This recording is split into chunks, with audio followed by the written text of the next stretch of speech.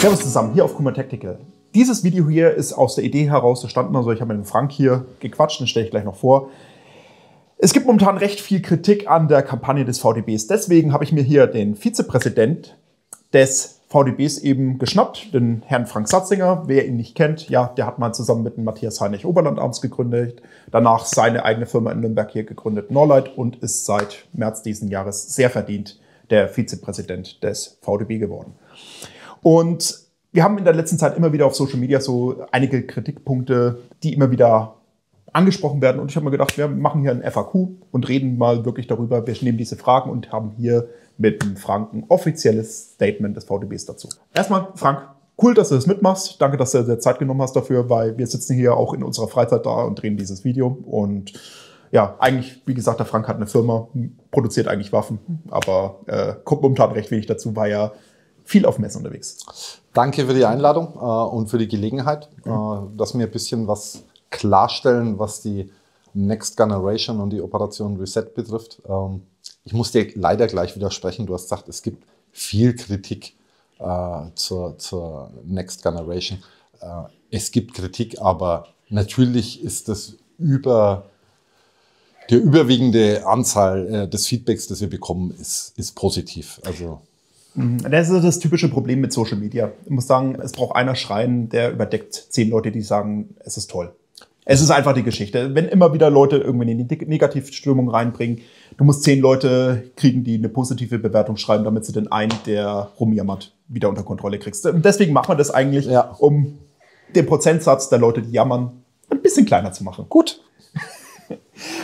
Die erste Frage, die ich mir hier eben zusammengestellt habe, ist, ihr sagt doch immer wieder, das Waffengesetz in Deutschland ist eigentlich viel, also eigentlich schon streng genug. Das muss nicht geändert werden. Wir haben eines der strengsten Waffengesetze der Welt. Warum fordert ihr jetzt ein neues Waffengesetz? Ähm, dass das Waffengesetz nicht geändert werden muss, äh, äh, ist so nicht richtig. Es muss natürlich geändert werden, aber in einem positiven Sinne, äh, sprich hin zu einer Verschlankung, Entbürokratisierung und Liberalisierung. Wir haben in Deutschland wohl, da hast du recht, eines der strengsten Waffengesetze in Europa, wenn nicht weltweit. Aber das ist wahrscheinlich auch eines der unverständlichsten und am wenigsten handhabbaren mhm. Waffengesetze, in, in, in, zumindest in Europa. Und äh, davon müssen wir dringend weg. Äh, und dafür wäre es schon mal sinnvoll, wir würden Vorgaben, die aus Brüssel kommen zum äh, Waffenrecht, nicht übererfüllen, wie wir es in letzter Zeit getan haben, weißt du selber aus mhm. leidvoller Erfahrung.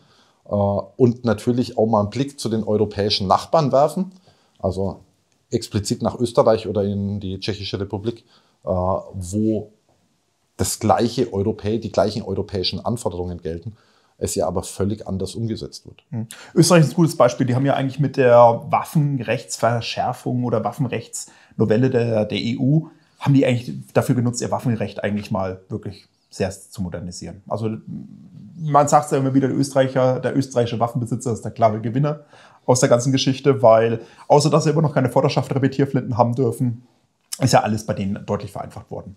Ja, es ist, es ist übersichtlich, äh, es ist handhabbar, sowohl für den Handel als auch äh, für, den, für den Kunden, äh, weil aus dem österreichischen Waffengesetz relativ klar hervorgeht, was darf ich, was darf ich nicht. Ah, das ist beim Deutschen leider nicht der Fall. Ja, ein ganz großes Problem, was wir halt im Deutschen auch haben, ist, das Waffengesetz ist ja noch nicht genug. Wir brauchen ja noch dazu Verwaltungsvorschriften. Wir brauchen teilweise das Polizeigesetz, weil bestimmte Sachen nur im Polizeigesetz noch mit drin sind, was das Thema Kontrollen zum Beispiel ja. angeht oder Transport. Richtig. Äh, die Richtlinien stehen nur im Polizeigesetz drin, was ein normaler Bürger normalerweise keinen Blick reinschaut. Ja. Wir haben das Beschussgesetz. Was haben wir denn noch an so, so Sachen, die mit reinkommen? Das waren ja eine ganze Liste, was Relevanz hat. Ja, die AWV auch noch dazu. Ja. Also wir haben, wir haben fünf oder sechs Rechtsvorschriften, die sich alle um den Bereich Waffenrecht mhm. kümmern. Ähm, die zum Teil alle nicht so eindeutig sind, wie sie sein sollten. Und das führt gerade in letzter Zeit ja auch zu äh, Gerichtsurteilen, ähm, wo man offensichtlich erkennt, dass mittlerweile das Waffenrecht auch interpretiert wird. Mhm. Ja, also der Thema Schlüsselverwahrung. Schlüsselverwahrung, ganz, ganz gutes Beispiel. Jetzt die Diskussion äh, mit dem Schießnachweis für die Überkontingentwaffen, die ja auch mhm. in einigen Bundesgebieten äh, jetzt wirklich ein relevantes Thema werden. Ähm, wäre das Waffengesetz so klar, wie wir uns es alle wünschen würden, wie wir uns es alle wünschen äh, dann gäbe es diesen Interpretationsspielraum gar nicht mhm. und äh, wir hätten alle klare Regelungen.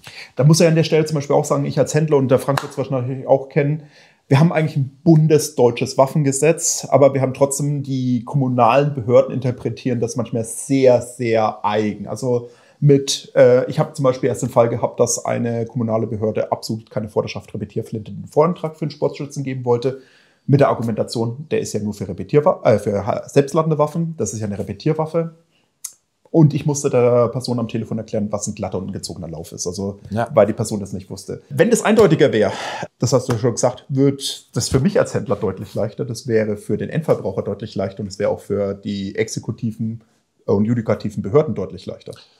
Das ist der Punkt. Also ich, ich glaube, dass viele Ordnungsbehörden, was heißt ich glaube, ich weiß, äh, dass viele Ordnungsbehörden auch ihre liebe Not mit dem Waffenrecht haben. Ähm, Stellen werden ja auch in den Ordnungsbehörden immer wieder mal neu besetzt. Mhm. Die Einarbeitungszeit in, in, in, so eine schwierige Gesetzeslage, die ist natürlich enorm. Ähm, und man kann den Damen und Herrschaften, die äh, da eben in der Waffenbehörde sind, wahrscheinlich manchmal auch gar keinen Vorwurf machen, dass es manchmal zu komischen Aussagen kommt weil sie ganz einfach in ihrer Absicht keinen Fehler äh, zu begehen beziehungsweise etwas Falsches zu machen, halt erstmal ablehnen, sich vielleicht selber erstmal einlesen müssen in die komplizierte Rechtslage. Äh, das könnte man natürlich auch alles auffangen, indem man ein Waffengesetz schafft, äh, das deutlich schlanker und klarer ist. Mhm. Die zweite Frage, die man immer wieder hört, ist, dass die FDP ja aktiv den Gesetzesentwurf des, vom BMI gekommen ist, also vom Bundesministerium des Inneren, abgefangen und abgewehrt hat. Und jetzt fallt ihr nicht dem, der FDP damit in den Rücken, dass ihr sagt, wir wollen jetzt eine Gesetzesveränderung haben, weil die FDP hat ja erstmal gesagt, nee, gibt es erstmal nicht. Ja, der Eindruck mag vielleicht entstehen, mhm. aber äh, dem ist natürlich nicht so. Also die FDP hat äh, tatsächlich den Referentenentwurf zu Beginn des Jahres vom BMI abgelehnt äh, mit dem Hinweis auf den Koalitionsvertrag. Mhm. Ähm, da haben sich alle Parteien bevor sie in diese Koalition eingetreten sind, äh, geeinigt, was sie denn tun wollen, äh, welche Vorhaben sie bearbeiten wollen in der Legislaturperiode. Und äh, da gibt es eine relativ eindeutige Regelung zum Waffenrecht, nämlich, dass das Waffenrecht erst angefasst wird, in welche Richtung auch immer, wenn eine Evaluierung erfolgt ist. Und mit Hinweis auf diese Regelung im Koalitionsvertrag hat die FDP es eben abgelehnt, das Waffenrecht zu verschärfen in dem Fall, mhm. äh, gemäß dem Referentenentwurf, ohne dass die Evaluierung erfolgt ist. Ähm, jetzt wissen wir beide, die Evaluierung ist mittlerweile erfolgt.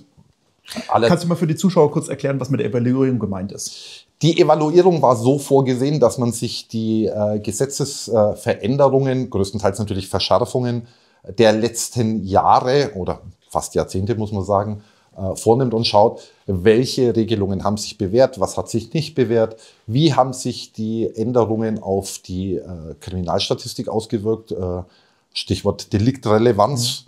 Mhm. Ähm, so war es gedacht. Mhm. Interpretiere ich mal. Und so, man kann es auch so aus dem Koalitionsvertrag herauslesen. Das Bundesministerium des Inneren mhm. hat es sich jetzt mit der Evaluierung recht einfach gemacht, äh, indem sie einen Fragebogen an die viele Behörden, aber auch an Verbände geschickt haben äh, und im Prinzip nur sehr eingeschränkt evaluiert haben, nämlich eigentlich nur die letzte Gesetzesänderung betrachtet haben. Mhm. Äh, das ist natürlich keine Evaluierung, wie sie, wie sie im Koalitionsvertrag vereinbart war. Und ich, ich denke, mhm. Interpretation meinerseits, äh, so sieht es auch die FDP. Also aufgrund dieser durchgeführten Evaluierung ähm, das Waffengesetz zu verändern, zu verschärfen, mhm. äh, geht nicht. Muss sagen, die, die Evaluierung hat auch ein, zwei äh, positive Aspekte hervorgebracht, nämlich in der Form, ähm, dass ja am Anfang die äh, Nachtsichtgeräte, Wärmebildgeräte, die für die Jagd ja jetzt erlaubt sind, und die Schalldämpfer ähm, durchaus kritisch ja beäugt wurden. Du kannst dich sicherlich erinnern. Mhm. Ähm, das wurde überprüft und in der Evaluierung kam raus, äh, dass mit beiden keine Deliktrelevanz festzustellen ist. Das heißt, mhm. beides ist kein Problem. Man könnte also weitermachen in die Richtung. Das ist ja auch eine, eine der Forderungen unserer Kampagne, mhm. ähm, Schalldämpfer für Sportschützen freizugeben. Nachdem bei den Jägern nichts passiert ist, ist es ja auch legitim. Und ähm, von den von dieser Lösung der Wärmebildgeräte und Nachtsichtgeräte, die mir ja mhm. recht abenteuerlich äh, auf die Zielfernrohre vorne aufsetzt, was technisch jetzt nicht so die ganz gute Lösung ist, äh, hin den Weg zu gehen zu Wärmebild, äh, Wärmebild-Zielgeräten und mhm. Nachtsicht-Zielgeräten. Das heißt, äh, das ist dann eine Lösung, die nur in einem Gerät ist. Ja, die auch meistens sehr viel erschwinglicher ist. Also, wo man sagt, gerade Jungjäger oder äh, ähnliche, die hätten einen riesen Vorteil davon, weil gibt zum Beispiel von Sidemark gibt's Geräte, die tauglich sind, die in den USA oder in anderen Nationen äh, sehr verbreitet sind, okay. mit einer guten Leistung, die halt im Bereich so 500, 600 Euro liegen und nicht 2000 Euro Gerät plus Optik. Okay. Hm. Ja, ähm, richtig. Grundsätzlich kann man ja auch sagen, die FDP hat ja hier sehr liberales Gedankengut, was das ganze Thema angeht. Wird auch immer wieder eine Frage aus der Community, also nicht aus unserer Community sein, sondern generell aus dem, aus dem Volk sein. Ja, wozu braucht ihr das Zeug? Das kann doch eigentlich verboten bleiben, weil, oder es kann doch verboten werden, wer braucht es ja eh nicht. Und die FDP hat ja auch hier eigentlich schon immer das Gedankengut gehabt. Ein Verbot ist ein sehr harter Eingriff in das Recht eines Bürgers. Also ein Verbot muss einen Grund haben. Also man verbietet Atomwaffen, weil Atomwaffen kann man als Privatperson nicht wirklich was mit anfangen. Also man könnte es vielleicht sammeln, aber ich sag mal, der, der, der, das Risiko ist hier so enorm groß, dass man damit irgendwie Blödsinn macht, selbst aus Versehen, dass ja. man Probleme hat. Genauso wie halt Krankheitserreger oder harte Drogen irgendwo immer in Gefährdung mit darstellen. Aber das Gedankengut geht ja hierhin, wenn man sagt, äh, wenn ich etwas verbiete, dann muss das ja nicht nur den Zweck haben, dass ich es verboten habe, sondern es soll ja auch einen tatsächlichen Nutzen haben. Und das war ja das Ziel von der Evaluierung. Zu schauen, haben Verbote. Das hätte das Ziel sein sollen. Ähm, das, den, den Outcome hat die Evaluierung aber nicht produziert. Mhm. Ja, also aus der, aus der Evaluierung äh, kann man keine Handlungsnotwendigkeit äh, für, die, für die Änderung des Gesetzes ableiten. Ähm, weil dazu auch einfach die Datengrundlage fehlt. Also wir haben mhm. ja, das, das weißt du sicherlich, die, äh, der, die Unterscheidung, äh, wenn bei einer Straftat äh, eine Schusswaffe eingesetzt wird, in welcher Form auch immer, ähm, war das eine legale Schusswaffe, war es eine illegale Schusswaffe, mhm. Die wird seit einigen Jahren nicht mehr getroffen. Und damit ist natürlich die Datengrundlage für eine Entscheidung, ob eine Verschärfung des Waffenrechts mit einem Gewinn an innerer Sicherheit verbunden ist, die ist damit nicht gegeben. Mhm. Ich kann es ja nicht sagen, weil ich es nicht weiß, ob die, ob die legalen Waffen mhm. tatsächlich äh, äh, in irgendeiner Weise, also wir wissen es natürlich, äh, ja. weil wir eine gewisse Übersicht haben und wir wissen, nein, legale Waffen sind ja. nicht deliktrelevant oder nur in sehr geringen Umfang. Ja, also das ist halt wirklich ein niedriger Prozentsatz. Die letzte äh, Hochrechnung, die es gab, ist ja von 2015 vom BKA und da waren wir bei 0,008 Prozent aller Straftaten. Also verschwindend gering. Ja. Sind wir natürlich im Bereich Whataboutismen, aber äh, es wäre Deutschland deutlich mehr geholfen, wenn wir zum Beispiel Alkohol verbieten würden, weil das sind deutlich mehr Straftaten mit dem Fall. Kann man natürlich nicht machen, will ja auch keiner von uns, also nicht sagen Nein. Äh, in die Richtung, aber nur wenn man vom Verhältnis an, anschaut, es hat keine Deliktrelevanz in Deutschland gehabt. Zumindest 2015 nicht. Und danach können wir es nicht mehr sagen, ja. weil es ja aus der Statistik rausgeflogen ist. Ja. Wenn wir dann gerade mal über die Kampagne vom VDB reden, also über die Operation Reset, wer unterstützt denn alles die Kampagne? Na, grundsätzlich äh, jeder, der mag. jeder, jeder der in irgendeiner Weise ähm, vom Waffengesetz, von den Regelungen des Waffengesetzes betroffen ist. Äh, in erster Linie natürlich unsere ordentlichen Mitglieder, also der, der Waffenfachhandel, ähm, sicherlich auch äh, Hersteller, Importeure, Großhändler, ähm, unsere Fördermitglieder, mittlerweile fast mhm. äh, 14.000. Äh, das sind alles Unterstützer. Äh, es dürften aber sicherlich noch mehr sein. Mhm. Denn die Bereiche, die von den Regelungen des Waffengesetzes betroffen sind, sind natürlich sehr groß. Äh, wir haben vorhin schon mal über Paintball gesprochen. Das ganze Thema Messer, SAS-Waffen, äh, Bushcrafter. Also es ist ein Riesenfeld, ähm, wo wir uns auch noch Unterstützung wünschen würden. Mhm. Wenn wir beim Thema Unterstützung sind, habt ihr diese Aktionen eben mit den anderen Verbänden, die es in Deutschland gibt, also sei es DSB, DJV und so weiter, abgestimmt und ähm, habt ihr da auch Unterstützung irgendwo bekommen oder Rückhalt? Ein heikles Thema. ähm, wir haben die anderen Verbände darüber informiert. Ja, das haben mhm. wir getan. Aber in erster Linie ist, ist äh, die Next Generation eine Aktion des VDB im Rahmen unseres Fight for Right für ein faires Waffenrecht. Äh, wir würden uns tatsächlich wünschen, äh, dass uns andere Verbände unterstützen, insbesondere aus dem äh, Jagd- und Sportbereich. Äh, warum das nicht erfolgt, kann ich dir nicht wirklich beantworten. Ähm, es wäre auch gar nicht viel notwendig. Also wenn, wenn, wenn, zum Beispiel irgendein skisportlicher Verband sich dazu durchringen könnte, ähm, seine Mitglieder nur mal darauf hinzuweisen, dass es vom VDB mhm. eben diese Kampagne gibt, so dass eine gewisse Aufmerksamkeit, der Fokus auf die Kampagne und ihre Inhalte gerichtet werden, äh, werden würde von den Mitgliedern, dann wäre uns wirklich schon geholfen, ja. Mhm. Das ist eigentlich eine gute Geschichte. Eigentlich, eigentlich fehlt, wie du schon sagst, eigentlich fehlt da echt nicht viel dazu. Im Prinzip, man muss nur noch mehr großartig Geld rein investieren. Da würde eigentlich ein Newsletter an die Mitglieder, okay, wer ist denn in Deutschland, ein Brief an die Mitglieder erreichen, wo man sagt, hier bitte, ja. würde ja schon reichen an die Vereine, dass man sagt, in den Vereinen wird die Mitteilung dann an die einzelnen Mitglieder weitergegeben alles eine Möglichkeit. Ähm, ich, ich, finde, man kann sich auch relativ leicht hinter die Forderungen des VDB stellen, äh, völlig unabhängig davon, welches Kerninteresse das man eigentlich hat. Also ob mhm. das jetzt Jagdsport, Paintball, was auch immer ist. Denn der VDB ist, ist ein Handelsverband. Ja, wir, wir in, vertreten die Interessen des Handels. Ähm, wann geht es dem Handel gut? Naja, wenn, wenn eingekauft wird. Ja, wem, wem sage ich, du bist Waffenhändler. Ja. Ähm, und das ist unser Kannanliegen. Und natürlich kann es dem Handel nur gut gehen, wenn wir ein möglichst äh, liberales, handhabbares und auch rechtssicheres Waffenrecht haben. Und dafür kämpfen wir. Ich kann es auch aus dem eigenen Nähkästchen sagen. Eine Diskussion, die ich häufig mit Kunden in den letzten Jahren habe, ähm, sei es wegen Corona, sei es wegen der Ukraine oder halt auch wegen der Waffenrechtsverschärfung, ist, kann ich mir mein Hobby leisten? Also wenn ich mir jetzt eine neue Waffe kaufe, kann ich die überhaupt mit Munition versorgen? Wie oft komme ich zum Training? Und aber auch ein ganz großer Punkt ist, naja, mit der Waffenrechtsverschärfung 2020 und dem Entwurf, der jetzt vom BMI kommt, ja, vielleicht kaufe ich mir jetzt was, was in zwei Jahren wieder nicht mehr haben darf oder ich kann nichts mehr mitmachen. Ich habe es da zwar im Schrank stehen, aber ja. darf nichts mehr mitmachen. Deswegen, natürlich für uns Händler ist es super gut, wenn die Leute einfach weniger Angst davor haben, dass sie ihr Hobby verlieren. Also was im Dreh, dann geben sie auch mehr aus. Und äh, deswegen ich sage auch, aus der ganz egoistischen Schiene schon, finde ich das, was der VDB macht, gut, weil äh, wenn die Leute mehr Zuversicht in die Zukunft haben, was eben das Thema Sport, Jagd, Hobbys eben angeht, ja, ist gut für mich.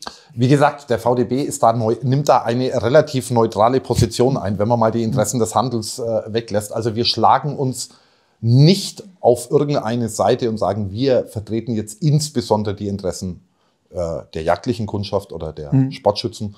Ähm, wir sind grundsätzlich für alle da, weil das Sortiment, das im Handel verkauft wird, äh, eben alle Bereiche betrifft.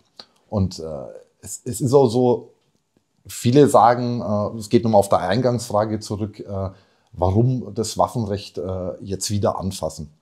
Also es, es, mag in der Community der Eindruck entstanden sein, und ich habe das jetzt auch ein bisschen auf der äh, Messe in Jagd- und Schützentage in Grünau in den Einzelgesprächen immer wieder gehört, ähm, warum macht ihr diese Kampagne jetzt? Es ist doch alles ruhig, es passiert doch gar nichts. Also äh, es ist ein Irrglaube, muss ich leider so deutlich sagen, zu glauben, dass der Referentenentwurf, den wir eben im, im, im Frühjahr mit, mit Hilfe der FDP und durch die Unterstützung unserer Mitglieder äh, abwenden konnten, dass der verschwunden ist, dass der nicht mehr bearbeitet wird. An dem wird natürlich weitergearbeitet. Ja. Die Ziele sind da inwieweit in der aktuellen Lage das Waffenrecht äh, jetzt äh, Priorität im Bundesinnenministerium genießt, das kann ich nicht sagen, das weiß ich nicht. Aber äh, zu glauben, dass das Themengebiet Waffenrecht nicht mehr bearbeitet wird, das ist ein Trugschluss. Mhm. Ja, man muss ja auch sagen, der Gesetzentwurf, was vom BMI gekommen ist, der war ja auf der einen Seite schon mal sehr dilettantisch aufgebaut. Also man muss sagen, da waren ja auch bestimmte Sachen drin, so Formulierungen, die sich gegenseitig schon widersprochen haben. Allein schon die Unterscheidung zwischen Feuerwaffe und äh, Schusswaffe wurde in, in dem Entwurf ja nicht klar getroffen, was ja, das wissen wir beide, einen riesen Unterschied im Waffengesetz ja. darstellt. Und zur anderen Sache war es ja eigentlich, ich sag mal, eine Reaktionspolitik. Und äh, zu sagen, ja, es ist doch momentan ruhig, ja, aber wir waren halt bis jetzt mal ein sehr einfaches Ziel.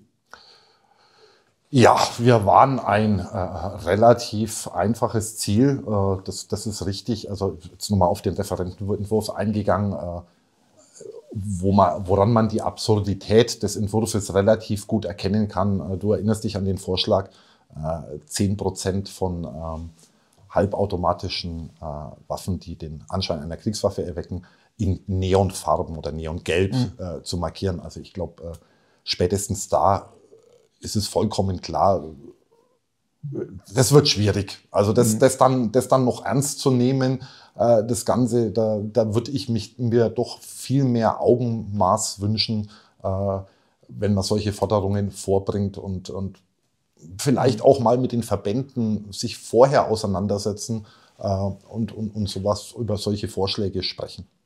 Ja, das ist ein sehr guter Punkt, weil man muss ja an der Stelle auch immer wieder sagen, die Forderung nach mehr Sicherheit ist ja etwas, was immer gut beim Bürger ankommt. Wenn man sagt, ich möchte etwas tun, ähm, ich will Waffen einschränken, verbieten oder sonst was, damit weniger Leute in Deutschland in Gefahr oder in Angst leben müssen oder dass weniger Straftaten passieren. Die Aufschlüsselung, bringt es denn tatsächlich was? Wird erstmal nicht hinterfragt. Und die zweite Frage ist, was kostet es eigentlich, etwas zu machen, was nichts bringt. Ähm, Im Endeffekt, weil ist ja nicht so einfach, dass wir sagen, wir verbieten das und damit ist die Sache erledigt, sondern wir haben ja auch hier eine riesen Bürokratie immer im Hintergrund. Also du hast es gerade angesprochen mit den Lackierungen.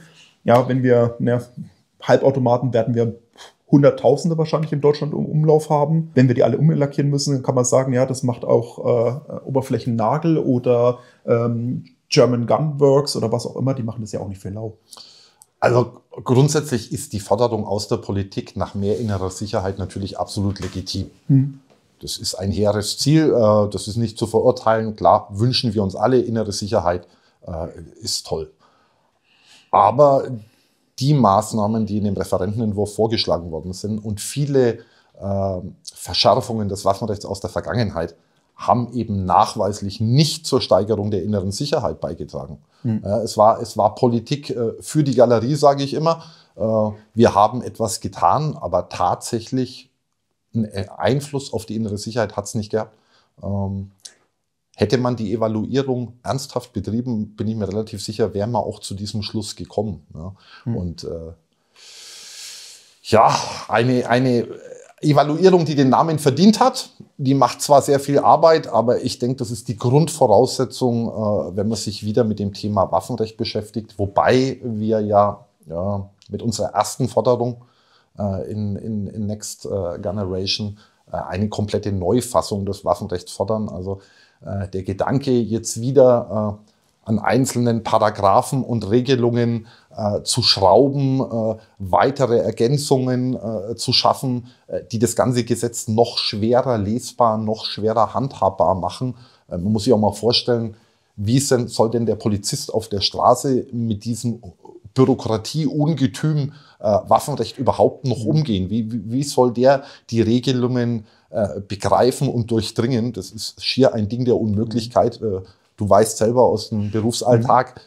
Welche Probleme das schon für erfahrene Rechtsanwälte schafft. Ja, und ich kann es auch aus meinem eigenen Nähkästchen wirklich bestätigen. Also, äh, wenn es gerade um die Legalität von irgendwelchen Gegenständen geht, ich habe mit dem Zoll zum Beispiel eine Diskussion darüber gehabt, mit Abzügen, die beim Zoll gelegen waren.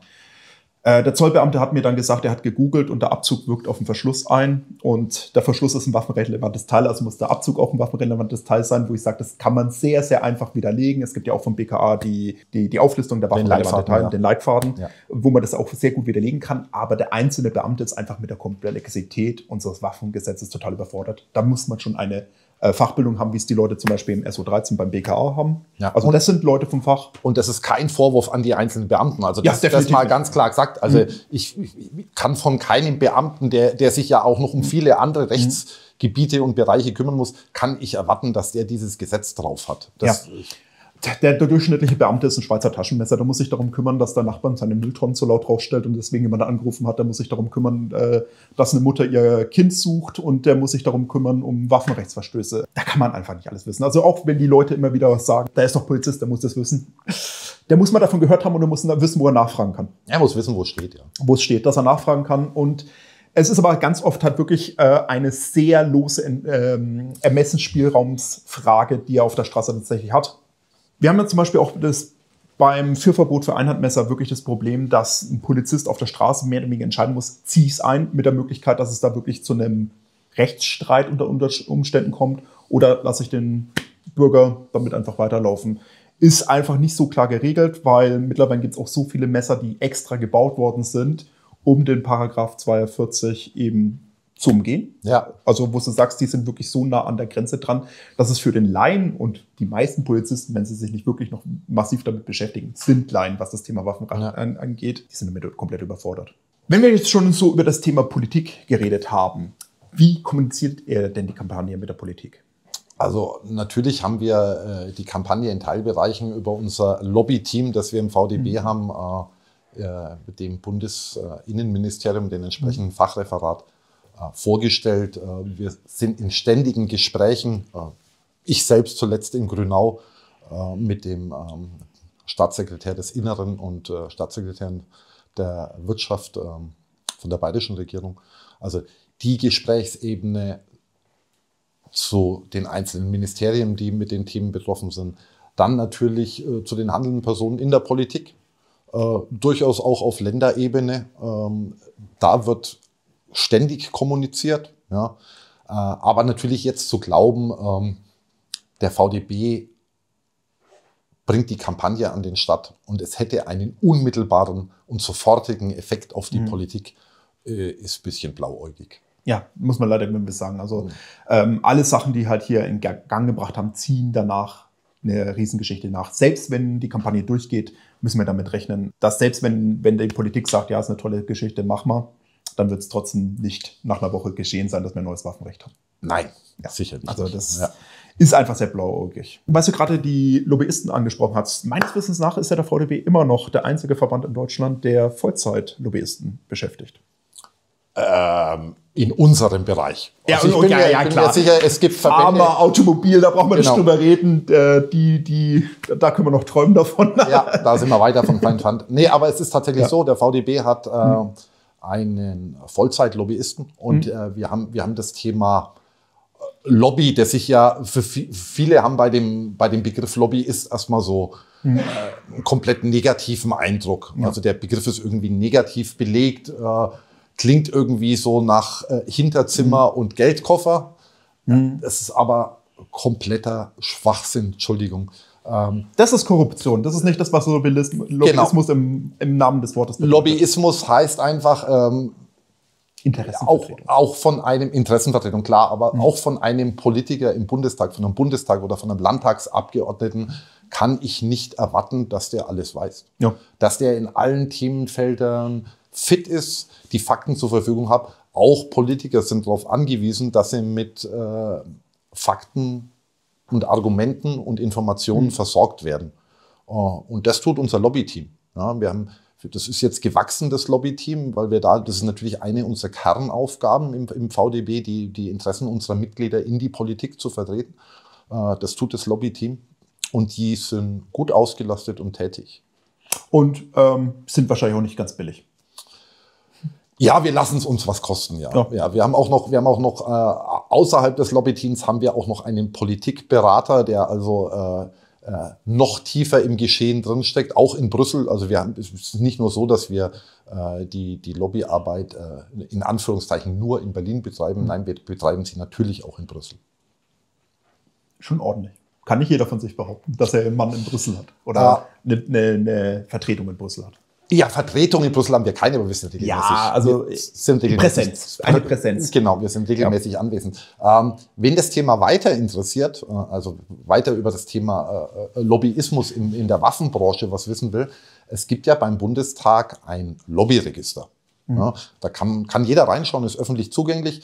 Äh, jeder, jeder Verband, der in Berlin in irgendeiner Weise eine Interessenvertretung im Bereich des Lobbying wahrnimmt, der muss sich ja registrieren. Äh, Ist übrigens heute wieder verschärft worden. Da müssen jetzt noch mehr Informationen des Lobbyregister rein. Äh, kann jeder nachschauen. Und ähm, ich habe das kürzlich getan. Und der VDB steht da ganz gut da, was das Engagement betrifft. Was kann man da drunter ungefähr verstehen? Ja, Ah, soll sich jeder selber ein Bild machen. Ich, das, das geht jetzt dann relativ schnell in Richtung Kritik anderer Verbände und das ist eigentlich ein Thema, das ich Okay. wirklich vermeiden will. ich schaue es mir selber an. Bitte. Wenn ich es cool finde, mache ich ein eigenes Video drüber. Alles klar, Deal. Ja, weil das ist, äh, klingt interessant. Gut. Jetzt kommen wir mal mit einer auch kritischen Frage, die aber auch eins zu eins so aus den so sozialen Medien entnommen worden ist und die sehr, sehr allgemein gehalten ist. Glaubt ihr denn, dass euch jemand ernst nimmt? Ich hoffe es. Nein, äh, ich, ich erwarte es. Ich, ich erwarte, dass man uns ernst nimmt. Ähm, äh, die, die Forderungen in der Next Generation äh, haben wir uns ja nicht aus den Fingern gesogen, sondern das ist im Prinzip äh, das Kondensat aus vielen, vielen äh, Gesprächen, Diskussionen. Das sind die Forderungen unserer Mitglieder, also der Händler, das sind die Forderungen unserer Fördermitglieder, ähm, die wir der Politik vermitteln. Aber wie ich es vorhin schon gesagt habe, jetzt zu erwarten, dass der VDB eine, eine Kampagne startet und dass die unmittelbaren Einfluss auf das Politikgeschehen hätte, ist einfach eine Illusion. Mhm. Wir sind jetzt mit der Kampagne, haben wir jetzt erstmal die Betriebsart gewechselt. Wir sind weg von diesem, und du bist auch lang genug dabei, das zu wissen, wir sind weg von dieser Reaktion, die eigentlich immer nur erfolgt ist in dem mhm. Augenblick, wo wir uns mit äh, Verschärfungsplänen konfrontiert gesehen haben. Und dann hat die, hat die Branche immer reagiert.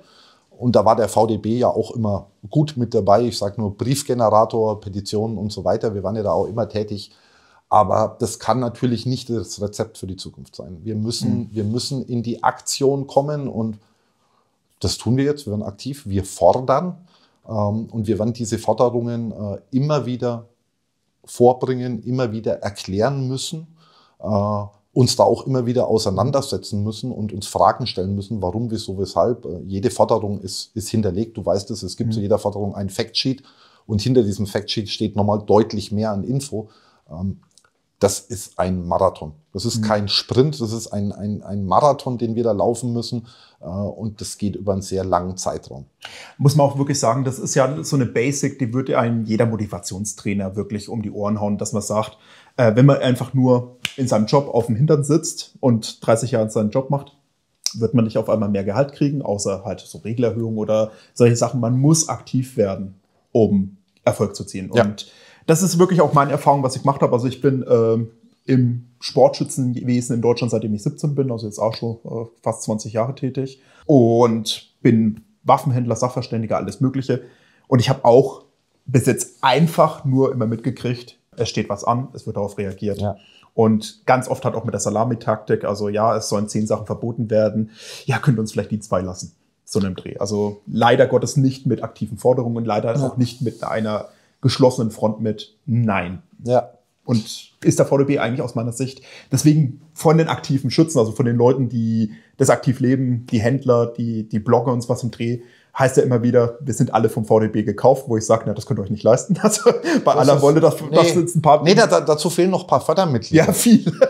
Also, äh, wenn ich das hier nicht freiwillig tun würde, äh, also VDB könnte sich die Rechnung nicht leisten für mich oder noch viel weniger für den Jörg Sprave, der äh, in den Klickzahlenbereich drin ist, wo man sagt, also der der wäre nicht drauf angewiesen. Bringt Nein, aber nichts. Wir, wir, setzen da, wir setzen da natürlich drauf, mhm. äh, dass es euch auch ein Herzensanliegen ja. ist, ein, ein, ein besseres Waffenrecht zu bekommen. Ja. Und das merkt man ja auch, die Leute, was hier wirklich aktiv sind, die ja halt auch äh, in dem Bereich Pressearbeit und was sind oder Öffentlichkeitsarbeit, die stehen ja hinterm VDB, muss man ganz ehrlich sagen. Also ich, von der Seite kriegt man ja kaum Kritik, man kriegt eigentlich nur von den Leuten die, die Kritik eigentlich ab, die sagen, ja, es wird sich ja eh nichts ändern. Aber das sind ja die Leute, die eigentlich den Kampf schon aufgegeben haben, bevor er überhaupt anfängt. Das, das ist, ein gutes, ist ein gutes Stichwort. Also ähm, du warst auch in Grünau äh, auf dem Stand. Äh, warum bin ich, warum habe ich die Messe in Grünau gemacht, äh, diese, diese drei Tage? Ich, ich wollte wirklich mal, die Kampagne läuft jetzt äh, vier Wochen, ich wollte mal reinhören. Wie kommt denn die Kampagne bei den am Ende raus, bei den Jägern, bei den Schützen, bei denen, die, die, die sich dafür interessieren? Ähm, wie wird sie aufgenommen? Äh, ich würde mal sagen, wir sind bei 98 Prozent absolute Zustimmung. Mhm. Äh, die, es wird geteilt, die Inhalte der Kampagne werden, werden geteilt, die, die Forderungen werden geteilt. Aber du hast eben eine kleine Anzahl, die äh, in dieser Lethargie gefangen ist. Ja, es kann das vielleicht auch ein Stück weit nachvollziehen, äh, wenn man, wenn man sehr lang in dem, in dem Bereich unterwegs ist ähm, und die letzten 25, 30 Jahre sich vor Augen führt. Äh, was bringt es? Die machen sowieso, was sie wollen. Es ändert sich nichts. Damit kommt er nie durch. Das sind so die Sprüche, die, mhm. die wir von den wenigen gehört haben, äh, äh, die, die sich nicht aktivieren haben lassen durch, äh, durch die Next Generation.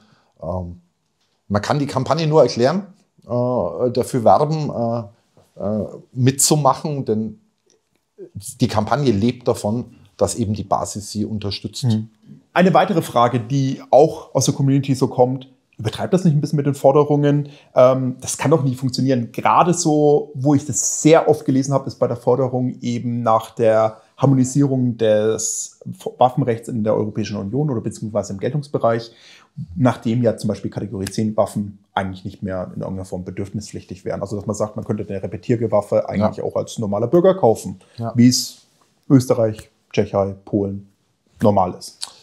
Also es war, ist tatsächlich äh, eine Frage, die ich in Grünau auch öfters gehört habe. Ähm, ist das nicht alles ein bisschen übertrieben? Zum einen muss man sagen, äh, wir müssen natürlich offensiv fordern. Ja, also die, die Forderungen müssen auch stark mhm. sein. Äh, zum einen äh, zur Aktivierung. Ja, es ist, äh, nur wenn die Forderungen wirklich Aussagekraft haben, äh, dann können sich die Leute auch dafür begeistern.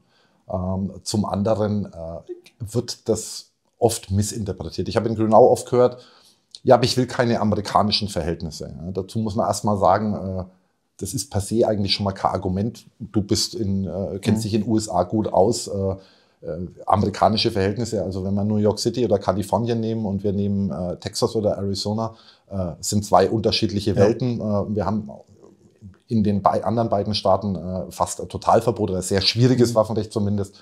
Und in den anderen beiden Staaten ist eigentlich alles erlaubt. Also was sind amerikanische Verhältnisse? Ja. Man müsste dann schon mal auf Bundesland unterbrechen.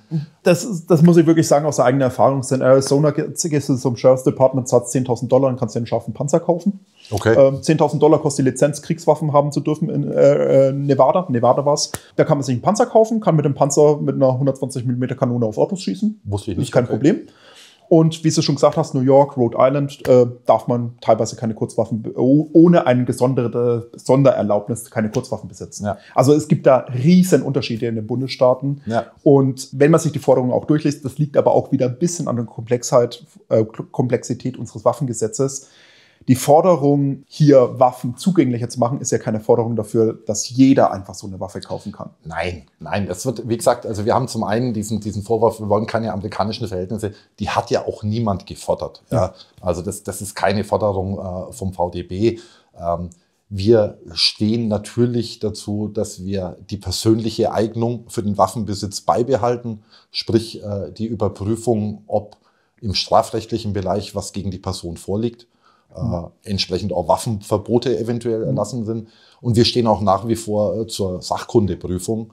Äh, wir stehen auch zur, zur sicheren Aufbewahrung. Also äh, wir fordern jetzt hier nicht die komplette mhm. Freigabe für alles und für jeden und jeder kann in den Laden gehen und kann sich eine Waffe kaufen. Äh, das wäre der, der inneren Sicherheit wahrscheinlich auch nicht so zuträglich. Ähm, wir haben da gut eingefahrene äh, Maßnahmen ähm, und Vorsorge, die wir auch beibehalten wollen. Aber äh, du hast gerade eben andere Länder angesprochen. Ein Blick nach Österreich oder nach Tschechien äh, zeigt natürlich auch, mhm. wie es deutlich liberaler geht. Und äh, mir ist jetzt nicht bekannt, dass bei unseren beiden genannten Nachbarn äh, es zu einer erhöhten Kriminalität unter dem Einsatz mhm. von äh, Schusswaffen kommt. Für die Leute, die es vielleicht nicht wissen, zum Beispiel in Österreich, das ist immer das Beispiel, was wir nehmen bei selbe Sprache, das sind unsere nächsten Nachbarn, ja. die uns am ähnlichsten sind, sind auch Mitglieder in der Europäischen Union und auch nicht, nicht nur wie Schweiz, das wäre schon wieder das Extrembeispiel, die sind nur Mitglieder in einem Schengen-Abkommen. Wenn wir uns zum Beispiel Österreich anschauen, die uns ja demografisch sehr nahe stehen, also ein ähnliches Altersspektrum haben, eine ähnliche Gesetzesprechung, also auch eben, man ist ab dem Alter mündig, man hat an ja. dem Alter Wahlrecht. In Österreich kann man, wenn man einen Wohnsitz in Österreich hat, 18 Jahre alt ist, geht man in einen Waffenladen. Kategorie C-Waffen, für die Leute, die nicht wissen, was eine Kategorie C-Waffe ist, das sind eben Waffen wie Repetiergewehre oder Flinten, Einzelladerflinten, Bündelwaffen, wo man sagt, man kann zwei Patronen reinmachen, die typische Tontaubenbüchse, äh, Tontaubenflinte.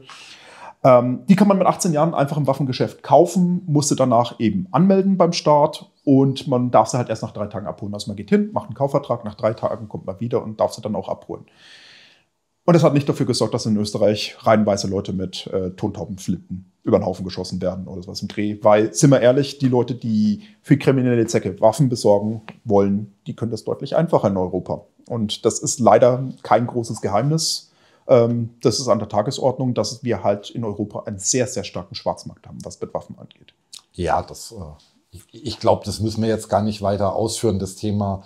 Äh, illegale Waffen, dass illegale Waffen das Hauptproblem sind. Ich meine, das ist das mhm. eins der Kernargumente äh, in, dem, in der Diskussion um ein Waffenrecht. Ähm, ähm, illegale Waffen mhm. sind das Problem und äh, äh, die sind ausreichend verfügbar, zum Teil noch aus dem Jugoslawienkrieg. Äh, mhm. Da äh, ist wahnsinnig viel in, in, nach Deutschland geschwappt. Ähm, und du hast ja immer das Logikproblem, ähm, dass du mit den Regelungen des Waffenrechts, das sich natürlich an die, an die mhm. legalen Waffenbesitzer äh, richtet, äh, nie den Besitzer einer illegalen Waffe erreichst. Ja. Weil der ist ja bereits im Rechtsbruch dadurch, dass er illegal eine Waffe besitzt. Also wird er sich wahrscheinlich auch nicht für die Regelungen des Waffenrechts interessieren. Ja, das ist immer, warum ich das Thema auch immer wieder anspreche, ist, weil man kann es nicht oft genug wiederholen, dass es halt einen Riesenunterschied zwischen legalen und illegalen Waffen gibt. Also das ist halt einfach, ich sag mal, wirklich ein Problem auch in der Wahrnehmung der breiten Öffentlichkeit, die sich nicht mit dem Thema Waffenrecht auseinandersetzt. Die Gesetze sind halt immer für die Leute gemacht, die sich eh eigentlich auch die Gesetze halten, weil die kriminellen Strukturen, die haben andere Möglichkeiten an Waffen zu kommen. Ja. Das ist einfach so. Grundsätzlich kann man ja sagen, dass, dass eigentlich jeder äh, in Deutschland äh, sehr froh und glücklich sein kann, wenn der Nachbar äh, Besitzer, also legaler Waffenbesitzer mhm. ist.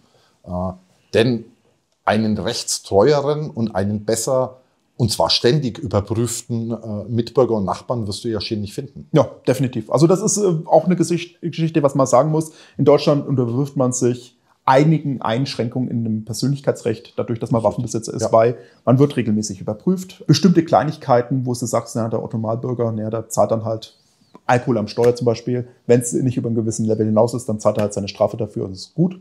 Als Waffenbesitzer hat man schon dann ganz andere Konsequenzen. Ja muss man uns auch zum Beispiel sagen, bei uns hängen tatsächlich auch die beruflichen Existenzen dran. Also wenn wir beide mit Alkohol am Steuer erwischt worden wären, das wäre für uns wahrscheinlich das Existenzielle aus.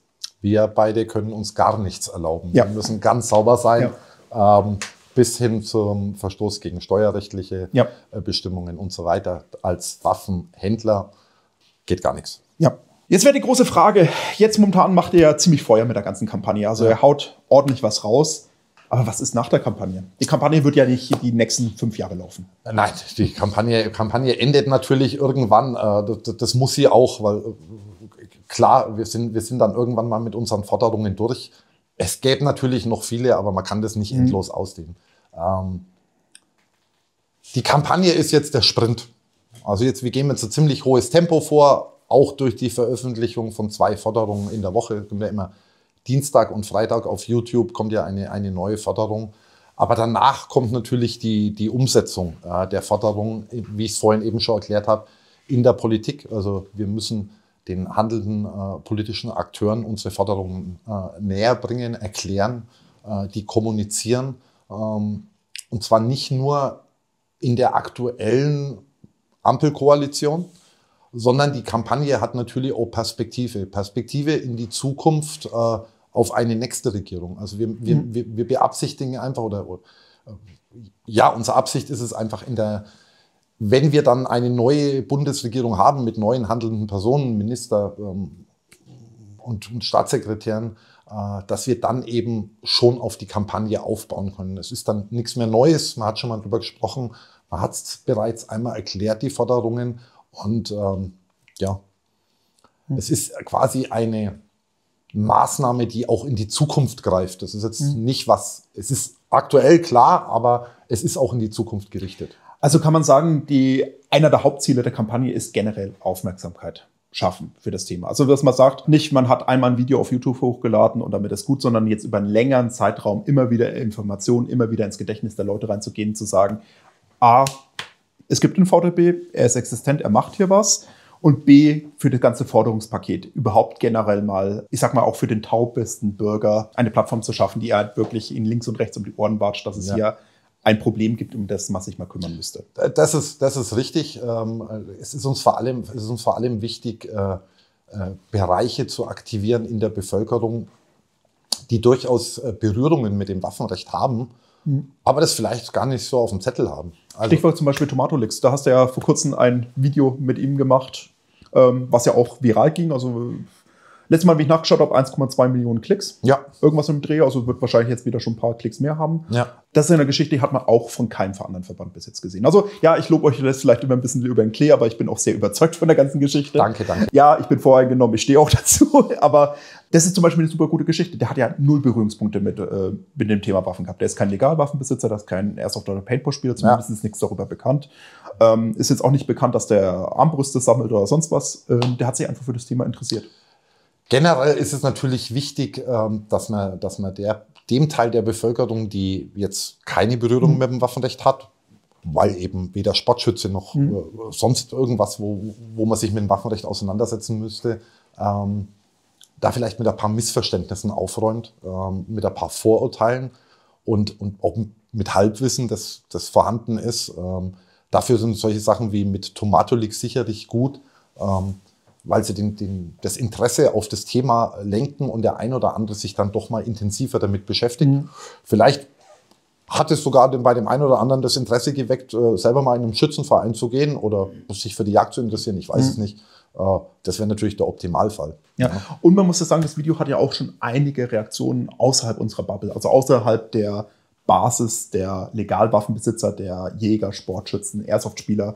Ich, es dauert immer zu lang, alle aufzuzählen, aber halt Ja. einfach alle, die mit dem Waffenrecht in Verbindung zu stehen. Es wurde ja schon von anderen Kanälen, wie zum Beispiel LeFloid, beziehungsweise Dr. Freud eben äh, eine Reaktion drauf gebracht. Und ich sag mal, der Aufwand dafür war ja schon etwas geringer in Anführungszeichen. Also im Prinzip hat es Zeit und ein bisschen Geld gekostet, aber es war jetzt nicht so, dass man sagen musste, äh, man hat da gigantisches Geld in, in die Hand nehmen müssen. Also das kannst du sicherlich äh, mit deiner Expertise im Social-Media-Bereich besser beurteilen als ich. Mhm. Du monitorst das wahrscheinlich auch intensiver als ich.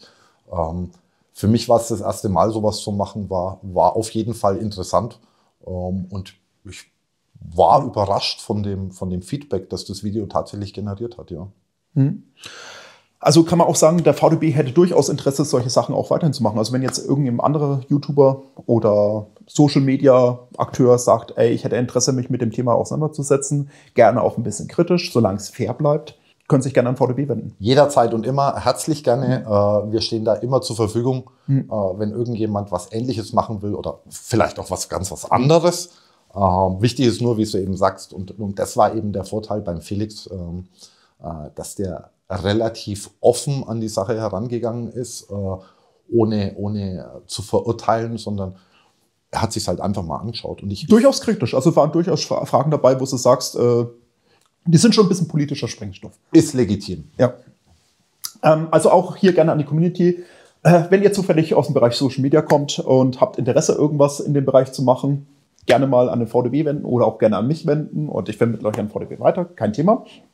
Oder wenn ihr Leute kennt oder selber sagt, ihr seid Teil einer anderen Community, gerne auch mal bei denen in die Kommentare schreiben, hey, es gibt hier etwas, worüber man reden sollte. Also ihr könnt gerne auch bei anderen YouTubern mal in die Kommentare schreiben oder sowas, dass der VDB hier durchaus zu offenen Gesprächen bereit ist oder auch zu Projekten wie zum Beispiel wie das Klar, mit Tomaten. immer. Welche Reaktion erwartet ihr von der Basis, von euren Mitgliedern, den Verbänden und der Politik? Von der Politik äh, im besten Fall Aufmerksamkeit. Ähm, wenn, wenn unser Lobbyteam in Zukunft in Termine geht, ähm, äh, ein offenes Ohr für die Belange der Branche, für die Belange, für das Interesse der, der Sportschützen, Jäger. Ich zähle jetzt auch nicht mehr alle auf, sonst dauert es zu lange. Ja. Ähm, äh, dass man uns dazuhört, dass man sich mit den, mit den Argumenten, die wir ja vorbringen, es ist ja nicht so, dass wir einfach nur Forderungen in den Raum stellen, wir argumentieren ja, wir begründen ja, wir haben hinter den Forderungen auch umfangreiches Zahlenmaterial stehen, das natürlich in solchen Gesprächen auch gerne ausgerollt wird, so ist es nicht. Ähm, das erhoffen wir uns von der Politik. Äh, Die andere Frage war von, den, von der Community. Ja, von den Verbänden, von der Politik und halt natürlich auch von euren eigenen Mitgliedern. Also von den Verbänden erhoffe ich mir, ähm, fordern kann ich es nicht, aber ich erhoffe mir mehr Unterstützung. Ich, äh, ich erhoffe mir, dass, dass Verbände ihren, ihren Mitgliedern äh, empfehlen, sich die Kampagne zumindest mal anzuschauen. Ähm, und von der breiten Masse, von der Community aller, aller Betroffenen ähm, wünsche ich mir, äh, dass sie unsere Kampagne unterstützen. Und zwar ähm, im Optimalfall durch eine Fördermitgliedschaft. weil das bringt uns wirklich weiter und wir, mhm. brauchen, wir brauchen diese finanzielle Unterstützung auch, um, um Kampagnen in der Form wie Next Generation auch in Zukunft durchzuführen, mhm. äh, weil es un, verschlingt unheimlich viel Geld. Aber vor allem die Unterstützung äh, im Bereich des Newsletters. Also diesen Newsletter, den es auf der Next Generation Homepage gibt, den zu abonnieren, denn am Ende der Kampagne steht ja die E-Petition. Wir wollen ja auch einen schönen offiziellen Abschluss von der Kampagne dann haben. Und äh, das tun wir sinnvollerweise mit einer Petition ähm, an den Deutschen Bundestag. Dafür brauchen wir 50.000 Unterschriften mindestens. Mhm. Ähm, ich fände es aber deutlich eindrucksvoller, wenn wir etwas mehr generieren können. Ja, wenn da zumindest mal sechs Stellen da stehen würden. Das wäre schon Das wäre toll. Das wäre super toll. Ja. Man muss an der Stelle natürlich sagen, wir sind hier in der Theorie irgendwas mit zwischen mindestens 1,2 und 5 Millionen Leute, die von dem Gesetz, also vom Waffengesetz betroffen sind. Wenn wir da auch nur 10 Prozent von mobilisiert bekommen, wäre schon allein für die Parteien ein gutes Zeichen, weil das sind Wählerstimmen. Und ich sag mal, 500.000 Wählerstimmen oder seien es auch nur 200.000 Wählerstimmen, sind schon eine ganz andere Geschichte als ja, 15 Leute hätten gern irgendwas. Ganz klar. Äh, die, die Kampagne und äh, die Umsetzung der Forderungen hängt natürlich zwingend an der Beteiligung und der Unterstützung, äh, die uns Fördermitglieder, interessierte Verbände zukommen lassen. Ja. Jetzt wäre aber die ganz große Frage, also klar, mit, das Feedback aus den Mitgliedern ist natürlich wichtig, aber was ist denn, wenn keiner auf euch hört? Also wenn sowohl die Politik als auch die Verbände und jeder sagt, naja, also das, was der VDB da macht, äh, das sind böhmische Dörfer. Das kann ich mir nicht vorstellen. Ähm, für den Fall, dass das so sein sollte, ähm, machen wir weiter. Also das äh, Engagement äh, des VDB für ein faires Waffenrecht, äh, das wird nicht enden, wenn die Kampagne vorbei ist. Und wir werden die Punkte aus der Next Generation, unsere Forderungen, die werden wir mhm. weiterhin vertreten äh, in der Politik gegenüber jedem, äh, äh den es eben betrifft, das Waffenrecht. Und äh, wir bleiben da dran. Mhm. Das ist unser Auftrag, äh, auch, auch für unsere ordentlichen Mitglieder, für den Handel. Mhm. Man muss ja auch wirklich sagen, also aus meiner Sicht, der das jetzt auch schon seit fast 20 Jahren eben verfolgt, es ist ja ein bisschen Aufwärtstrend zu sehen, dass die Leute sich auch ein bisschen mehr bewegen lassen. Also wenn man zum Beispiel die erste Petition damals anschaut, die damals gelaufen ist, die war ja schon noch, ich sag mal fast ein Armutszeugnis, äh, dass wir gerade so auf die 50.000 Stimmen gekommen sind und das aber auch relativ knapp, also da waren wir knapp drüber. Die zweite Petition war dann ein bisschen besser und da war ja noch der VDB noch gar nicht so richtig am Boot. Da war er noch in seiner Umstrukturierungsphase. Du meinst jetzt die, die zweite? 2020, die Gesetzesveränderung. Davor waren ja die Petition okay. von der Katja Triebel, was eine super Geschichte ja, war. Aber ja. da war es ja noch sehr schwer, Leute dazu zu ja. bewegen. Aber wir hatten, wir hatten ja im Rahmen von Resolute Response, äh, das war die Kampagne Anfang des Jahres äh, als Reaktion mhm. auf den Referentenentwurf, äh, mhm. haben wir ja gesehen, dass es bei Vorliegen einer realen Bedrohung äh, die Leute dann schon äh, mobilisiert werden können mhm. und auch tätig werden, wenn auch nicht in dem Umfang, wie, wie wir uns das sicherlich wünschen mhm. würden. Aber es kommt dann deutlich Schwung in die Sache. Ähm, ich stelle mir immer so ein bisschen die Frage, warum braucht es denn eine, eine Bedrohung in Form eines äh, verschärften Waffenrechts, äh, um sich dafür einzusetzen, die Grundlagen zu verbessern. Äh, mhm. Das könnte man jetzt im Rahmen dieser Kampagne ohne Not in aller Ruhe und argumentativ tun.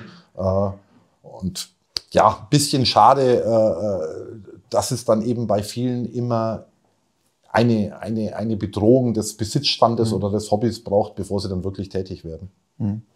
Nee, es gibt ja auch immer wieder so einfache Sprüche, die ja auch so, ich sag mal, typische Phrasen sind. Die beste Verteidigung ist ein Angriff muss man ganz ehrlich sagen. Also das kann man schon das A-Team zitieren. Ja, ja, ja. Ähm, wo man halt wirklich sagen kann, wenn man immer nur auf irgendwelche Sachen reagieren muss, dann muss man immer auch im Kaltstart auch arbeiten. Jetzt hat man halt die Möglichkeit gehabt, also was der VDB auch sehr gut genutzt hat, die Ruhe nach der Verteidigung zu nutzen, sich selber zu sammeln und in die Offensive zu gehen.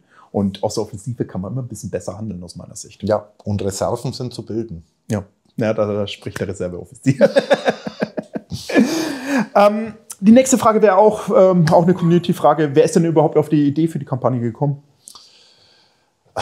Die Kampagne ist eigentlich äh, der logische Schluss aus der Kommunikation mit, äh, mit Mitgliedern, Fördermitgliedern, äh, aus diversen Veranstalten und Messen. Ähm, und uns war klar, dass wir irgendwann mal in die, in die aktive äh, Rolle gehen müssen. Ähm, und die, die Verschärfungen der letzten Jahre äh, sind natürlich ein eindeutiges Signal. Äh, das ist die Strategie, wie sie in den vergangenen Jahrzehnten, muss man ja fast sagen, äh, gefahren worden ist, dass die wenig hilfreich ist. Also ja. äh, zu warten, bis die Politik kommt mit einer Verschärfung, dann in eine Verhandlung zu gehen und sich dann auf einen wie auch immer gearteten Kompromiss, ich möchte das gar nicht beurteilen, meistens waren es schlechte Kompromisse, auf einen Kompromiss zu einigen, äh, um das in Anführungszeichen Schlimmste zu verhindern.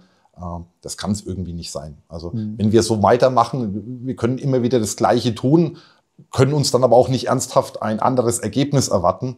Ähm, von daher war es der logische Schluss, jetzt mal mhm. aktiv zu werden, äh, weil im Bereich Waffenrecht ist es mit dem, was wir vorliegen haben, nicht, nicht fünf vor zwölf, wie viele oft mhm. sagen, sondern wir haben schon mindestens äh, zehn nach zwölf.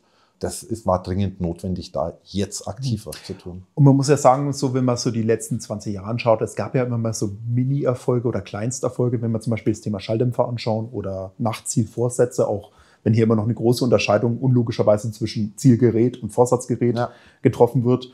Ähm, das waren ja auch Sachen, die einen positiven Effekt hatte. Aber man sieht ja auch da, da war zum Beispiel die DJV und auch die Landesjagdverbände, die waren da sehr dahinter, die wollten das haben. Ja. Und es ist auch politisch umsetzbar gewesen. Ja, natürlich. Also es, äh, mhm. an, an den genannt, von dir genannten Beispielen erkennt man ja, es ist keine Einbahnstraße.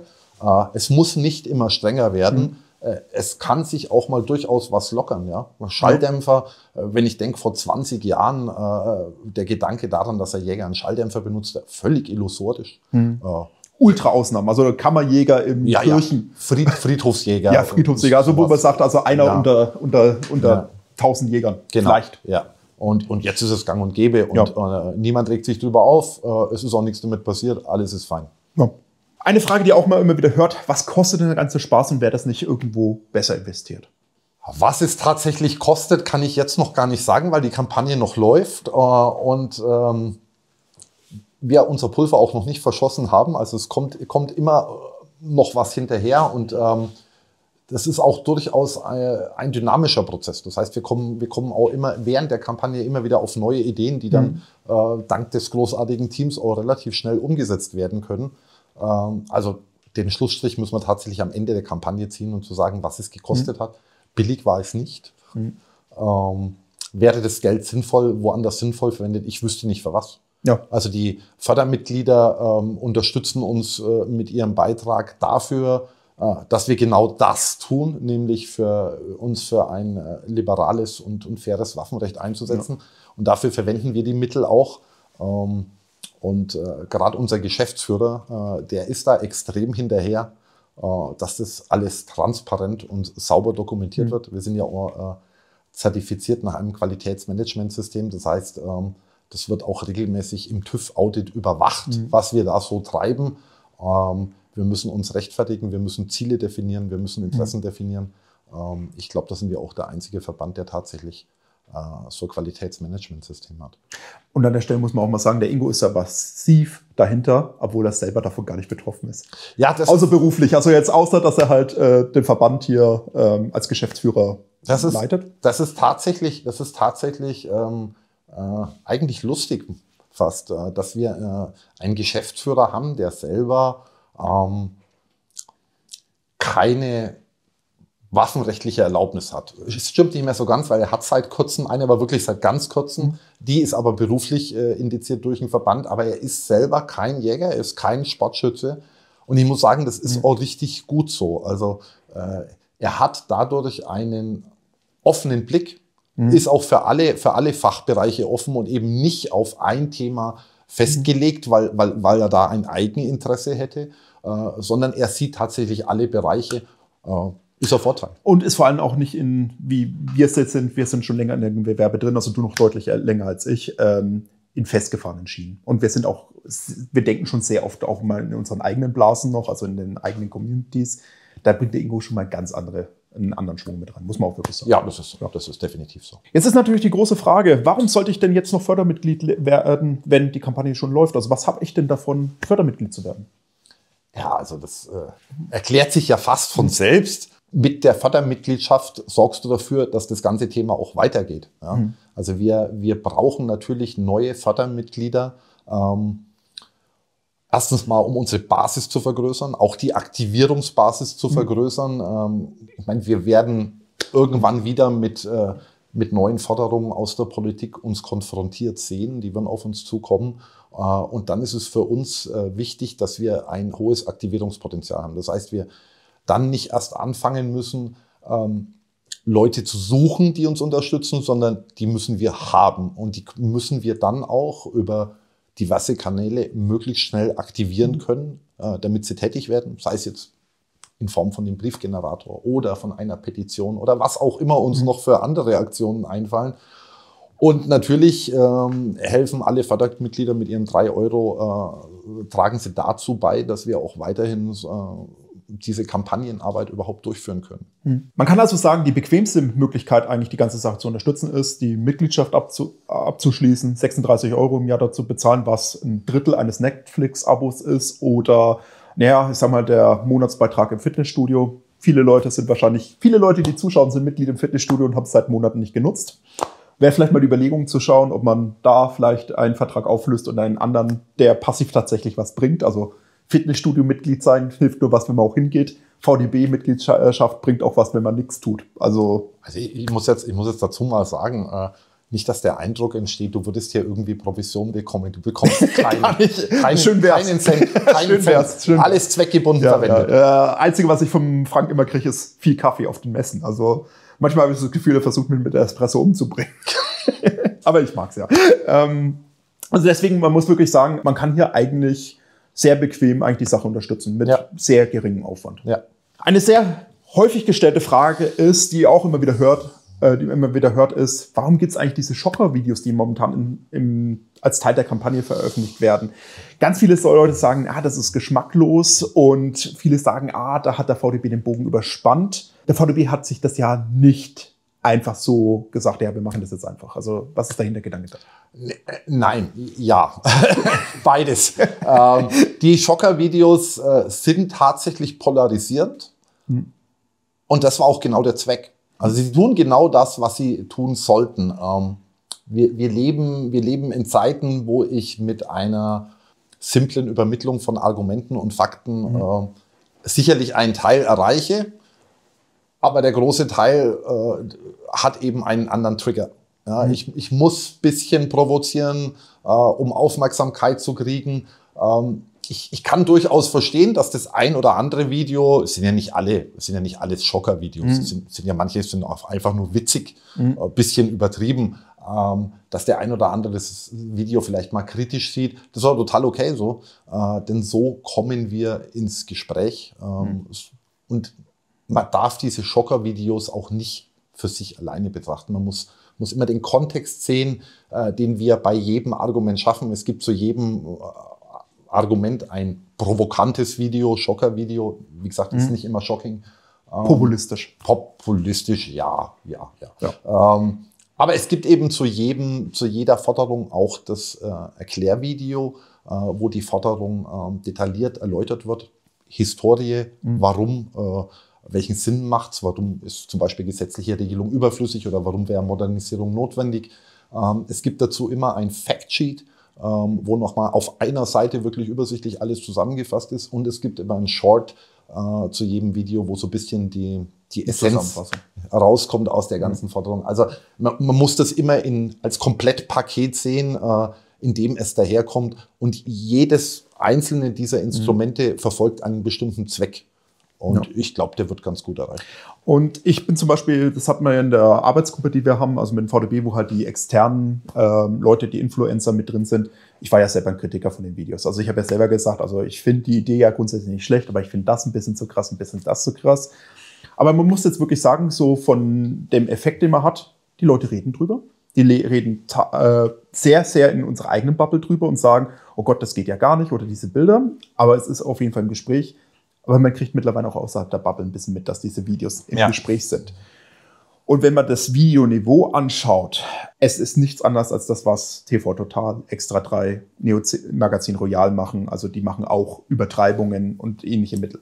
An der Stelle wird ja auch immer wieder gesagt, ja, wir können uns das aber halt als Waffenbesitzer nicht erlauben, solche Stilmittel zu verwenden, weil zum Beispiel Nazi-Vergleiche oder äh, sagen, die Presse ist äh, fremdgesteuert oder sowas im Dreh, ja uns immer wieder mal vorgeworfen, dass wir das ja eigentlich nicht machen dürfen. Ja. Und was ist da die Meinung des VDBs? Äh, ich, ich, wüsste nicht, warum für, für uns äh, als, als Verband oder auch als Waffenbesitzer äh, andere moralische Grundsätze gelten sollten als für den Rest der Bevölkerung. Du hast jetzt gerade mhm. eine ganze Reihe von Beispielen aufgezählt. Da besteht das komplette Geschäftsmodell nur aus Provokation. Ja. Bei uns ist, ist die Provokation ein klitzekleiner Anteil an der Kampagne. Äh, man sollte das auch nicht überhöhen, überhöhen mhm. sondern wirklich als das nehmen, was es ist. Es ist so ein kleiner Catcher äh, für die Aufmerksamkeit, mhm. bisschen Kontroverse, bisschen Interessenweckung für das komplette mhm. Thema, für den ganzen Bereich. Äh, aber es ist nicht Hauptteil der Kampagne. Hm. Man muss zum Beispiel auch sagen, es wird uns häufig aus den eigenen Reihen immer mal wieder gesagt, ja, so die, die Worte kannst du nicht sagen. Also ich kriege das selber auf YouTube immer wieder mit.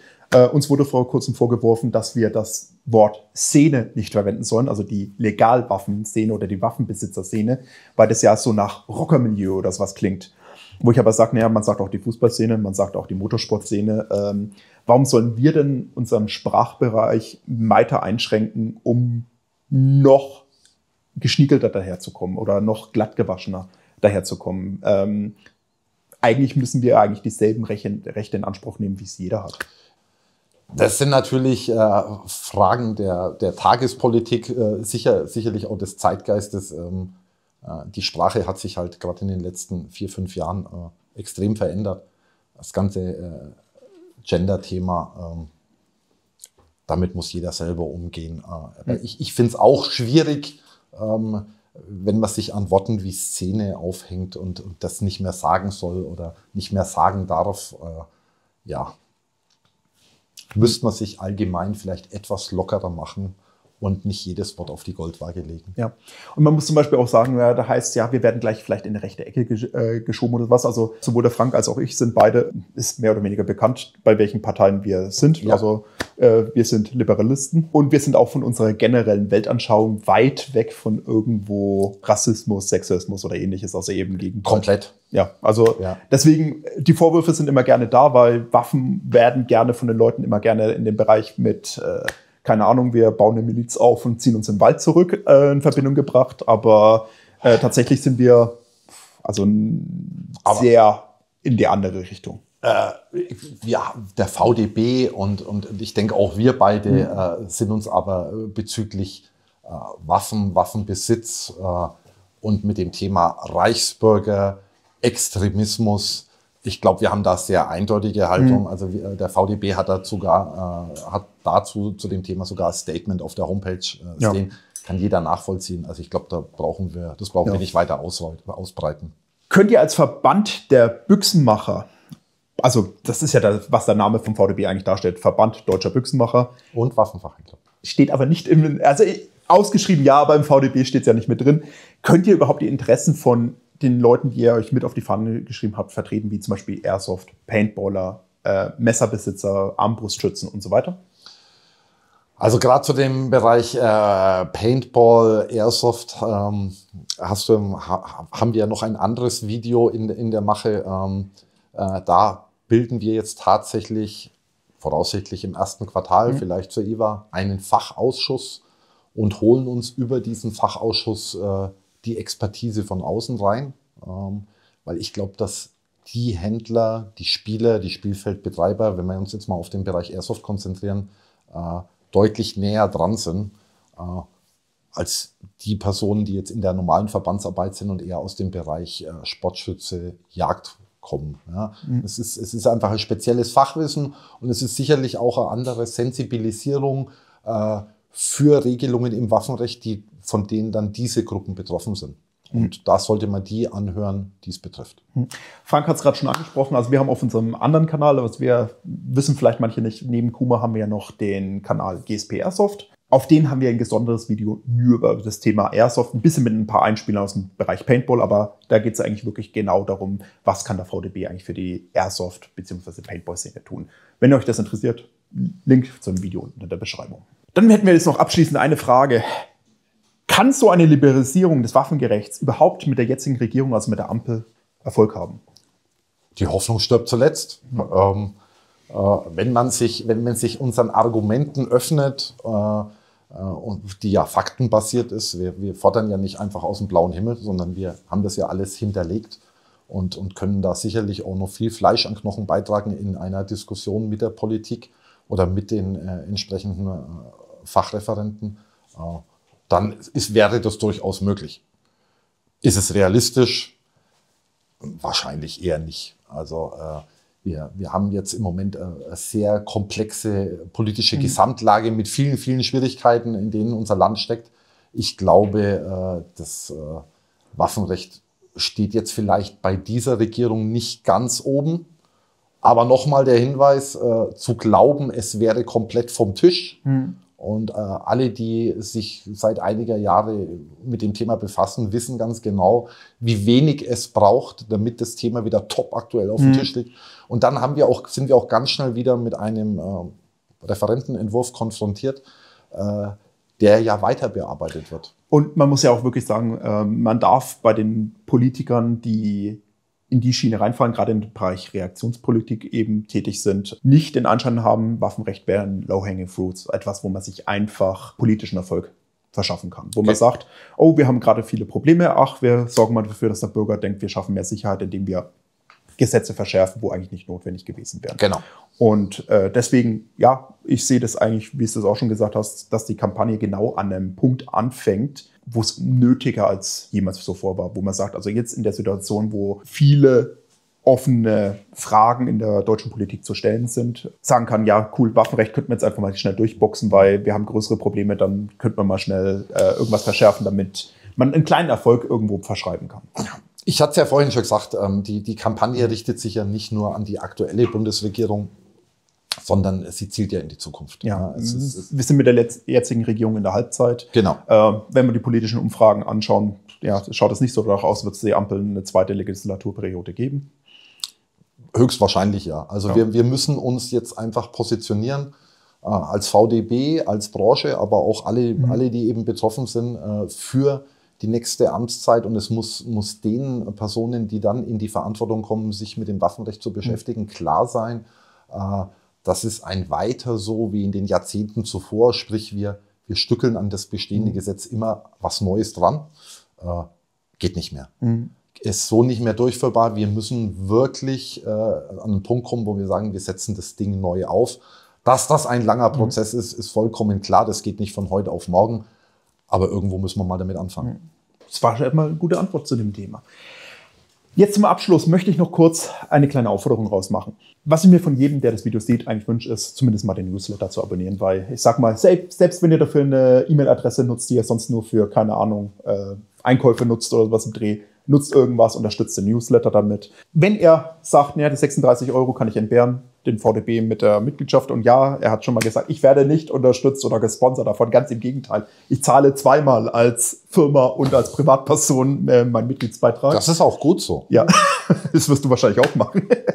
Das ist wirklich, ich sag mal so, das sind so die kleinsten Anforderungen, die ich machen kann. Was ich mir aber auch wünschen würde, wäre, dieses Video zu teilen in der Community. Wenn jemand sagt, ja, das, was der VDB macht, bringt eh nichts. Hey, wir haben euch hier genau die Argumente geliefert, was der VDB tatsächlich macht Link kopieren, unter den Kommentar setzen und schon hat derjenige die Antwort drunter, dass der VDB sehr wohl was tut.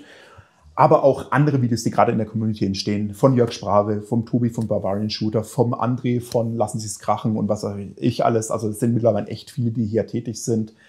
Teilt auch denen ihre Videos, schaut euch auch die Videos an und allein durch das Weiterkommunizieren und eben auch das Publikmachen der Videos, die der VDB selber macht, aber auch die Influencer außenrum, ist der Kampagne schon sehr viel geholfen. Absolut, herzlichen Dank für den Aufruf. Ja. Nach meinem kleinen Aufruf hier noch die Frage an dich, Frank. Hast du noch irgendwas, was du sagen möchtest? Absolut, danke für die Gelegenheit. Ähm, ich bedanke mich bei allen Fördermitgliedern, die uns schon unterstützen. Ich bedanke mich auch bei allen Leuten, die den äh, Newsletter abonniert haben. Aber insbesondere bedanke ich mich bei dem Team vom VDB, bei den äh, Mitarbeitern in der Geschäftsstelle in Marburg, mhm. die in den letzten Wochen und man muss fast sagen Monaten äh, wirklich weit über das normale Maß sich eingesetzt haben, äh, Überstunden leisten, Wochenendarbeit leisten und voll dabei sind. Äh, das ist ein Einsatz, der so nicht normal ist. Mhm. Äh, das sind auch größtenteils Leute, die tatsächlich nicht selbst vom Waffenrecht betroffen sind, jetzt nur in der Form, dass sie eben für den Verband arbeiten. Die hängen sich voll rein und identifizieren sich mhm. mit der Kampagne und dafür herzlichen Dank. Top Aufruf. Und ja, an der Stelle kann ich nochmal sagen, danke fürs Gespräch, Frank. Merci. Und wenn euch das Video gefallen hat, lasst uns ein Like und ein Abo da und wir sehen uns auch hier das nächste Mal bei Kummer Tactical. Bis dann. Ciao.